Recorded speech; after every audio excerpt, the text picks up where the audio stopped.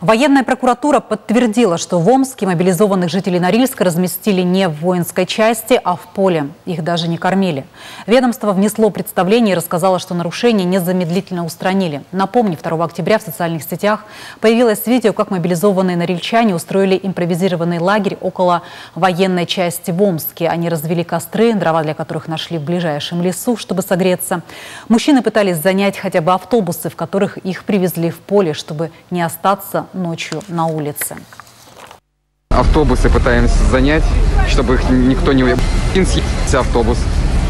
А, как его? Вот. Здесь, вот здесь находиться. Вы что, совсем что ли? Пытаемся автобус.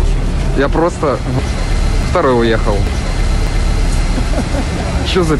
Ну, наши сейчас это остаются. Вот у нас последний вот этот автобус. Сейчас туда вещи закидываем и нас...